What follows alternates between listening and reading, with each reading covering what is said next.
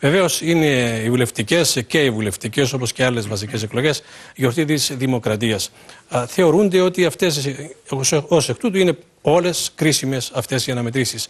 Τι θεωρείτε ότι χαρακτηρίζει κάπως περισσότερο γιατί αυτή τη φορά είναι κρίσιμες αυτές οι βουλευτικές εκλογές; Τι θεωρείτε ότι κρίνεται; Κατά την άποψή μου ή κατά την άποψη των πολλών χιλιάδων πολιτών, για να είμαι ειλικρινής, οι πυλώνες, τα τέσσερα βασικά σημεία αυτής της προεκλογικής εκστρατείας είναι, είναι τα εξής. Πρώτο είναι το οικονομικό.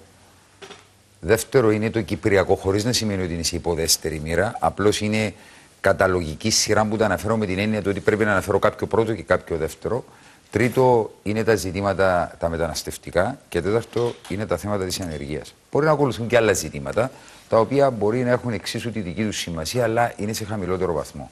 Και για να κάνω την πρώτη γενική τοποθέτηση, στα θέματα της οικονομίας υπάρχει το μέγα ζήτημα το οποίο αφορά την αναντιστοιχεία δηλώσεων και προβλέψεων σε σχέση με το τι είχε κάνει η κυβέρνηση και το τι είχε δηλώσει.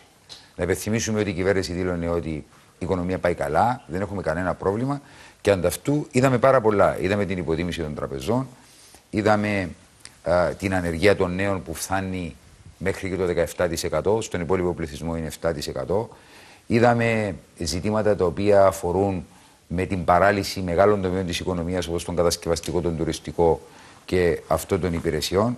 Είδαμε ότι ενώ παρά, παρέλαβε αυτή η κυβέρνηση ένα πλεόνασμα τη τάξη με θετικό πρόσημο 3,5, τελικά σήμερα το έλλειμμα είναι γύρω στο 7%. Είδαμε ότι παρέλαβε μια ανάπτυξη με θετικό πρόσημο, ενώ σήμερα είναι μείον 4. Θεωρείτε είδαμε, δηλαδή εν ολίγης ότι είδαμε, υπάρχει λοιπόν, αντιστοιχεία δηλώσεων και προβλέψεων ναι, ναι, και ναι. επιπλέον θεωρείτε ότι υπάρχει και αναποτελεσματικότητα; Βεβαίως. Είδαμε για να τελειώσω ότι ενώ παρέλαβε πλήρη απασχόληση, σήμερα η ενεργεία είναι, είναι όπως την έχω πει αλλά και παρά το ότι σήμερα εξακολουθούν να υπάρχουν οξύτατα και εντονότατα αυτά τα προβλήματα, η κυβέρνηση εξακολουθεί να επικεντρώνεται πάνω στο εξής. Νομίζω οι δηλώσεις του Γενικού Γραμματεία του ΑΚΕΛ είναι εκεί και του Υπουργού του Οικονομικών. Ότι επειδή περίπου ο δείκτης ανάπτυξης, κατά την άποψή τους, που είχαν προβλέψει ότι θα ήταν 0,5, δεν είναι 0,5 και είναι 1%, αυτό είναι καλό. Όλα τα άλλα τα οποία βιώνει καθημερινό ο πολίτης, με την ανεργία, με, την, με, το ΦΠΑ στα τρόφιμα και τα καύσιμα, με την αδυναμία να αντεπεξέλθει στα καθημερινά προβλήματα τα οποία αντιμετωπίζει και η οικογένεια του, αλλά αυτά δεν τα αντιμετωπίζουν μαζί με τα γενικά στην οικονομία, με αποτέλεσμα να υπάρχει αυτή η αναντιστοιχία. Από την άλλη πλευρά υπάρχει το ζήτημα το μεταναστευτικό, για να πω δύο λόγια και αυτό. Και γι' αυτό και να περάσουμε ναι. στον επόμενο, παρακαλώ. Ε, έχει δημιουργηθεί μια εντύπωση στον πολίτη και έχουν καλλιεργηθεί δυστυχέστατα αισθήματα εχθρικά εναντίον των μεταναστών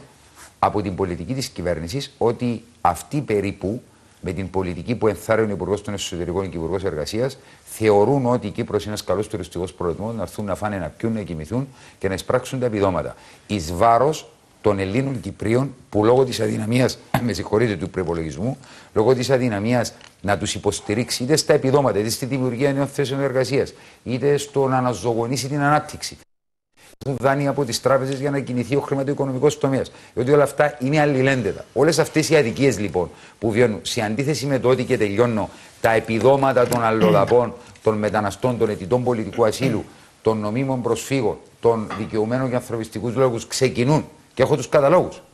Ξεκινούν από 1.800 ευρώ ε, το κατώτατο επίδομα και το υψηλότατο επίδομα φτάνει μέχρι τις 4, κάποτε και 4.500 ευρώ.